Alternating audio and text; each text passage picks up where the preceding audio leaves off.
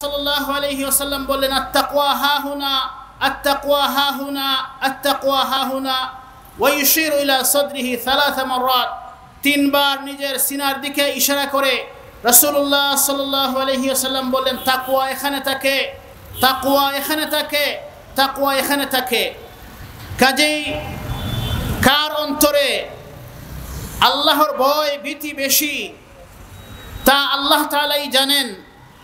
এই জন্য আমরা কোনো মুসলিমকে অবজ্ঞা করতে পারি না, হে প্রতিপন্ন করতে পারি না। বরং আমরা মুসলিমকে সম্মান প্রদর্শন করতে আদিষ্ট হয়েছি। রসুল্লাহ সাল্লাহ আলহি ওসাল্লাম বলেছেন মাল্লাম ইউকির কবিরানা ওয়ারহাম সগীরানা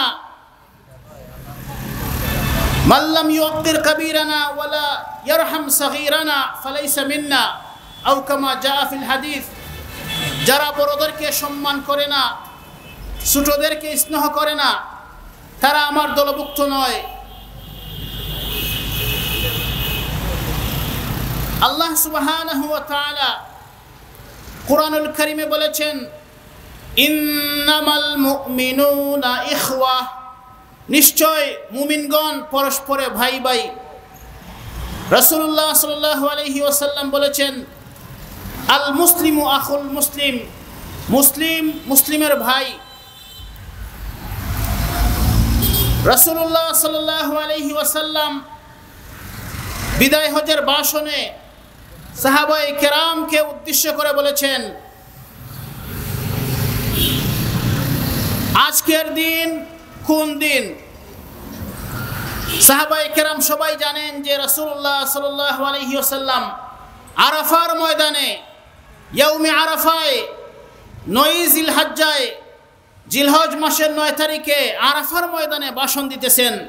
তিনি অবশ্যই অবগত আছেন যে এটা আরাফার দিন। এরপরেও যখন তিনি জিজ্ঞাসা করতেছেন, আজকের দিন কোন দিন? তখন সাহাবাই কেরাম ভাবলেন যে নবী হয়তো এর কোনো অন্য নাম দিবেন। তারপর নবী বলেছেন যে আজকের দিন হলো আরাফার দিন। তারপরে রসুল্লাহ সাল্লাহ আলহি ওয়াসাল্লাম বলেছেন, এই শহর কোন শহর? তিনি ভালোভাবে অবগত আছেন, এটা মক্কার শহর। পবিত্র মক্কা নগরী, আরাফা মক্কা নগরীতে অবস্থিত। তারপরও রসুল্লাহ সাল্লাহ আলহি ওসাল্লাম বলতেছেন, এটা কোন শহর? তারপরে রসুল্লাহ সাল্লাহ আলহি বললেন, এটা কোন মাস? হজের মাস, তিনি ভালোভাবেই জানেন। তারপরেও তিনি বলতেছেন, এটা কোন মাস? এরপরে রসুল্লাহ সাল্লাহ আলহি ওসাল্লাম বললেন, আজকের দিন, আরাফার দিন যেভাবে পবিত্র, আজকের মাস, জিলহজ মাস যেভাবে পবিত্র এবং এই মক্কা নগরী যেভাবে পবিত্র, সেভাবে কেয়ামত পর্যন্ত মুসলিমের জান, মুসলিমের মাল এবং মুসলিমের ইজ্জত আল্লাহর কাছে পবিত্র বলেন সবে সুবহান আল্লাহ মুমিনের জান পবিত্র। কোন মুসলিম, কোন মুসলিমের জানের ক্ষতি করতে পারে না। কোন মুসলিম, অপর মুসলিমের জানের ক্ষতি করতে পারে না। তার রক্ত দামুহু ওয়া ইরদুহু ওয়া মালুহু, তার রক্ত, তার সম্পদ, তার সম্মান পবিত্র। এই তিনটি জিনিস পবিত্র। যেভাবে মক্কা নগরী পবিত্র, যেভাবে জিলহজ মাস পবিত্র, যেভাবে ইয়ৌমে আরাফা পবিত্র। রসুল্লাহ বিদায় হজের ভাষণে তিনি আরও বলেছেন, তোমরা আমার পরে কাফির হয়ে যেও না। মুসলিমের গর্দান মুসলিমে মেরে, মুসলিম মুসলিমকে রক্তাক্ত করে, মুসলিম মুসলিমকে আহত করে, মুসলিম মুসলিমকে খুন করে তোমরা কাফির হয়ে যেও না। রাসূলুল্লাহ সাল্লাল্লাহু আলাইহি ওয়াসাল্লাম বলেছেন, সিবাবুল মুমিনে ফুসুকুন ওয়া কিতালুহু কুফ। মুসলিম মুসলিমকে গালি দেওয়া, এটা হলো ফাসিকের কাজ। ওয়াকিতালুহু কুফ। আর তাকে হত্যা করা, তার সঙ্গে লড়াই করা, তার সঙ্গে জগরা বিবাদে লিপ্ত হওয়া, কতল কিতাল করা, এটা হলো কুফুরি কাজ।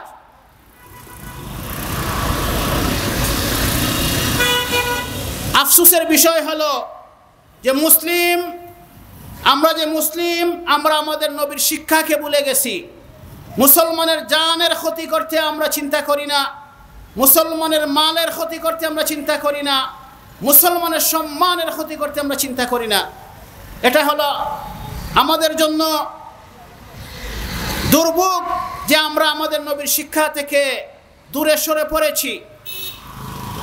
এই কারণে সমাজে এত বিশৃঙ্খলা, আইন শৃঙ্খলার এত অবনতি, যে মুসলিম তার ধর্ম থেকে, দিন থেকে, তার নবীর শিক্ষা থেকে দূরে সরে পড়েছে। সে ভুলে গেছে যে তার ধর্ম হলো শান্তির ধর্ম। শান্তির ধর্ম, নিরাপত্তার ধর্ম। এই ধর্মে এক মুসলিম আর এক মুসলিমের জানের ক্ষতি করার কোনো অধিকার নাই। এক মুসলিম আর এক মুসলিমের মালের ক্ষতি করার কোনো অধিকার নাই।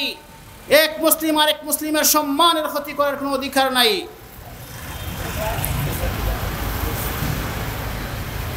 রসুল্লাহ সাল্লাহ আলহি ওয়াসাল্লাম বলেছেন, তিনি বাইতুল্লাহ তোয়াফ করতেছিলেন। বাইতুল্লাহ তোয়াফ করতেছিলেন।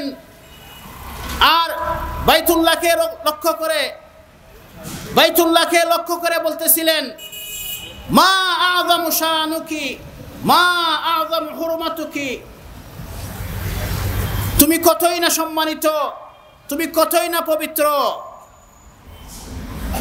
কিন্তু জেনে রাখো, তোমার সম্মানের চেয়ে একজন ইমানদারের সম্মান, একজন মুসলিমের সম্মান আল্লাহর কাছে আরও অধিক বেশি। বলেন সুবাহান আল্লাহ বাইতুল্লাহর সম্মানের চেয়েও একজন মুমিনের সম্মান, একজন মুসলিমের সম্মান অধিক।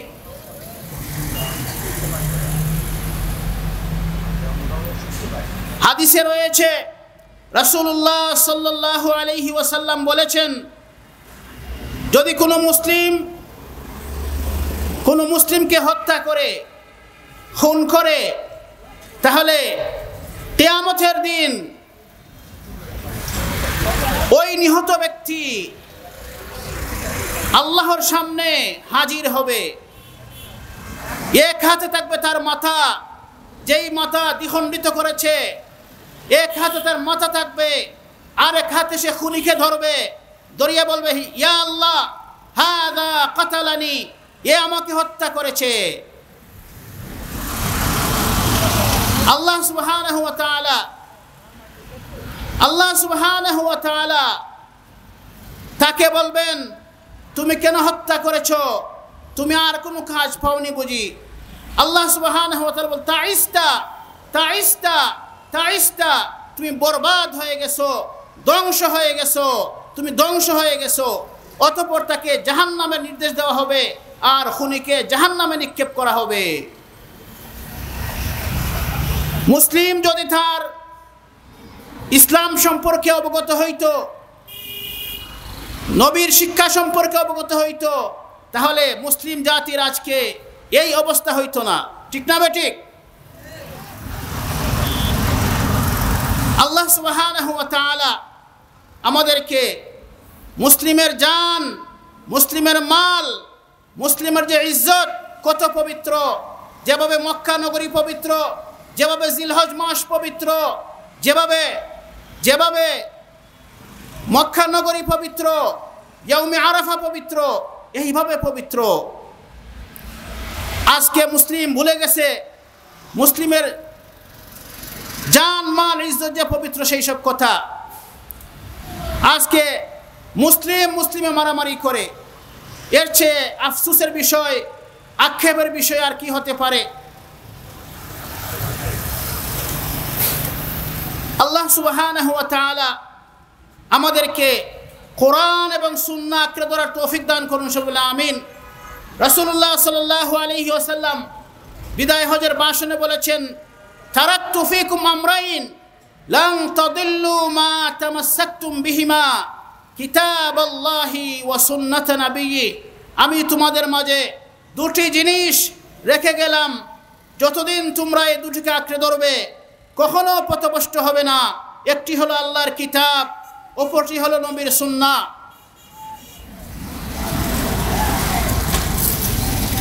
আল্লাহ তাআলা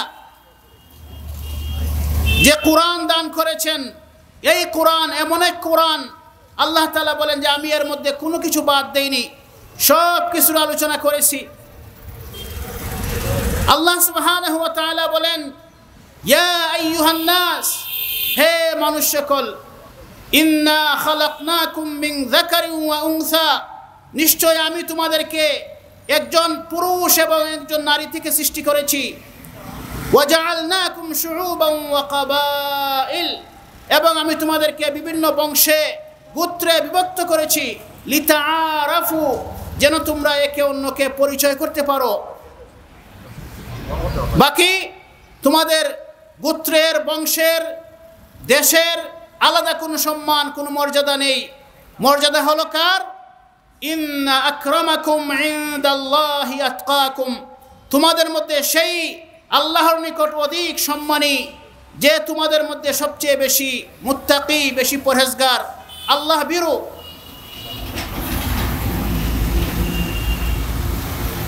আমাদেরকে সম্মান অর্জন করতে হলে আল্লাহ বিরু হতে হবে আমরা একজন মুসলিমের উপর হামলা করার আগে, আক্রমণ করার আগে চিন্তা করা উচিত, যদি এই লোক আমার নিকট থেকে, এই লোক আমার চেয়ে আল্লাহর কাছে বেশি সম্মানী হয়ে থাকে, বেশি ইজ্জতওয়ালা হয়ে থাকে, আর আমি তার উপর হামলা করি, আক্রমণ করি, তাহলে আমার কি হবে? রসুল্লাহ সাল্লাহ আলহি ওয়াসাল্লাম বলেন, মান সাল্লাল ফজরা ফাহুয়া ফি জিম্মাতিল্লাহ যে ব্যক্তি ফজরের সালাদ জামাতের সাথে আদায় করবে, সে আল্লাহর জিম্মায় চলে যাবে, তার হেফাজতের জিম্মাদার আল্লাহ তালা হয়ে যাবেন। অতএব তোমরা আল্লাহর জিম্মায় হস্তক্ষেপ করিও না। যদি আল্লাহর জিম্মায় তোমরা হস্তক্ষেপ করো, তাহলে এর পরিণতি হবে অত্যন্ত ভয়াবহ। আজকে দেখা যায় মুসল্লিও মানুষে মানে না, ফজরের সালাতের মুসল্লি যারা ফজরের সালাত আদায় করে তাদেরকে পর্যন্ত আক্রমণ করে, হামলা করে বসে।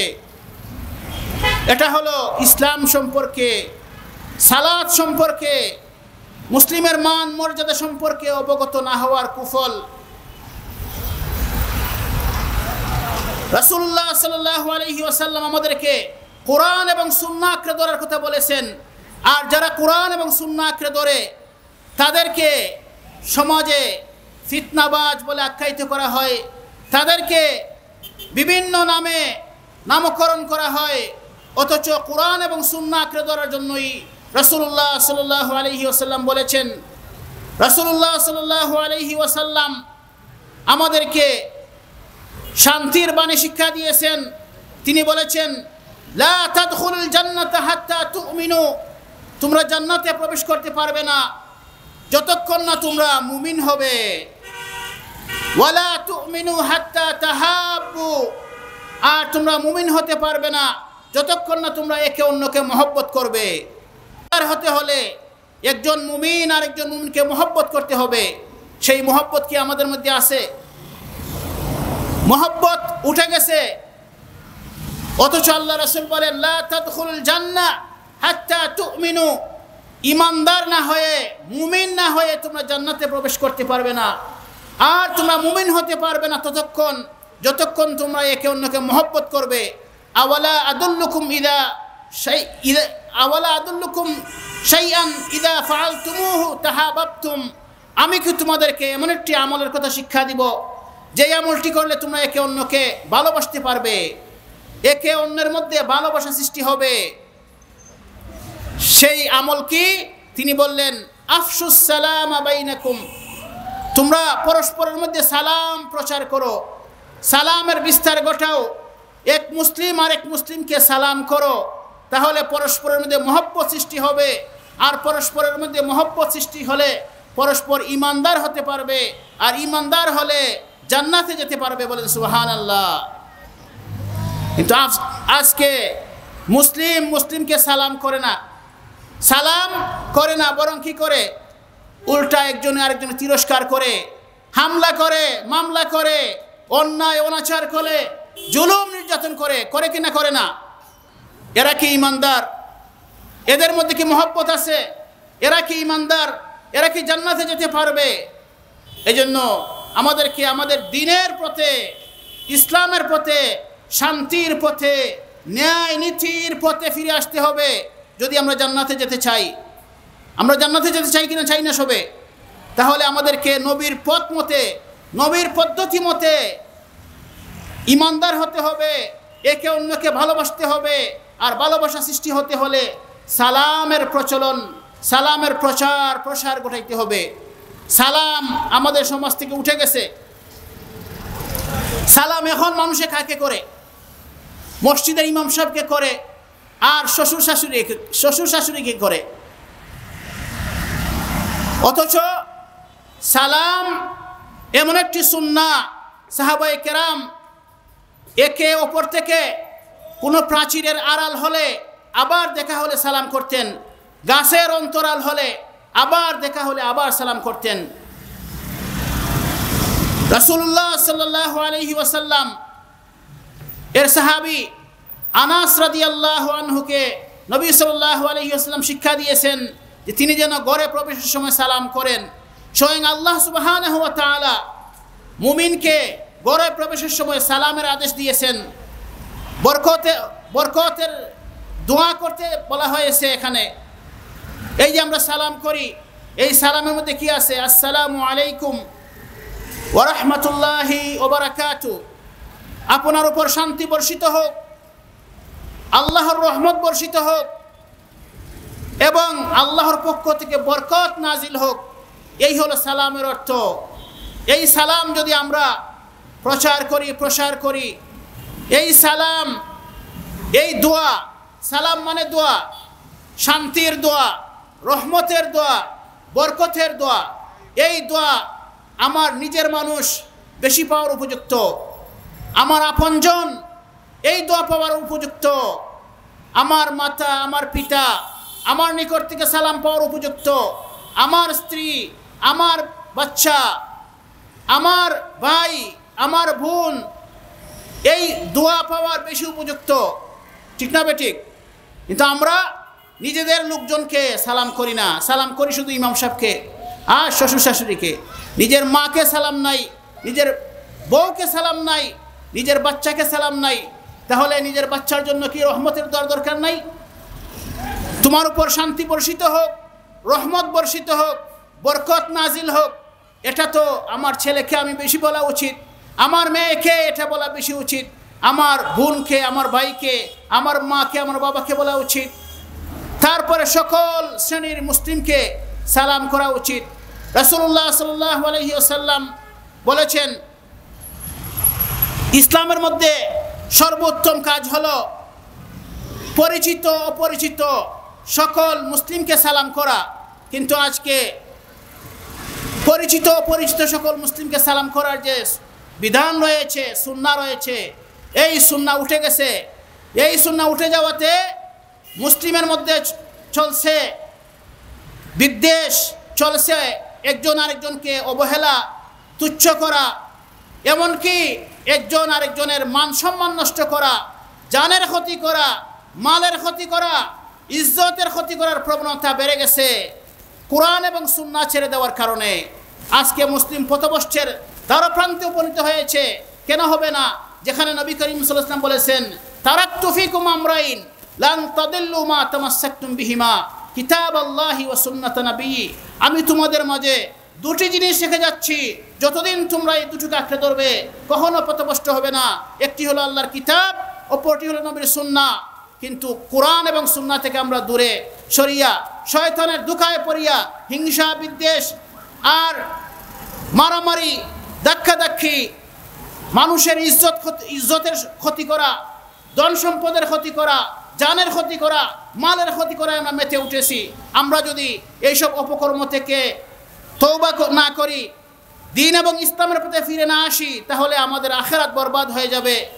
আল্লাহ সুবাহান আমাদেরকে কোরআন সুন্না আঁকড়ে ধরার, মুসলিম, মুসলিমকে সম্মান করার, জানের কদর করার, মালের কদর করার, ইজ্জতের কদর করার তৌফিক দান করুন। আমি এখানেই আমার সংক্ষিপ্ত আলোচনা শেষ করতে চাচ্ছি, কারণ আমার পরে আরও অনেক বক্তা রয়েছেন। আল্লাহ সুবাহান আমাদের এই আলোচনাকে কবুল করুন, এই মাহফিলকে কবুল করুন, এই মাহফিলের যারা আয়োজন করেছেন, সকলের আয়োজনকে কবুল করুন। এর বিনিময়ে আমাদের সমস্ত মুসলিম মুরদিগানকে মাফ করে দিন, তাদের কবরকে জান্নাতের বাগান বানিয়ে দিন, আমাদের সকলের জন্য এই মাহফিল নাজাতের উশিলা বানিয়ে দিন, আমাদের পক্ষ, আমাদের সকলের জন্য নাজাতের উশিলা বানিয়ে দিন। আল্লাহ সুবাহান আমাদের এই মাহফিলকে কবুল করুন। আমিন। ওসল্লাহ আলা নবীনা মুহাম্মদ ওয়ালা আলিহি ওসাহবিহি ওসাল্লাম আসসালামু আলাইকুম ওরহমতুল্লাহ বারকাতু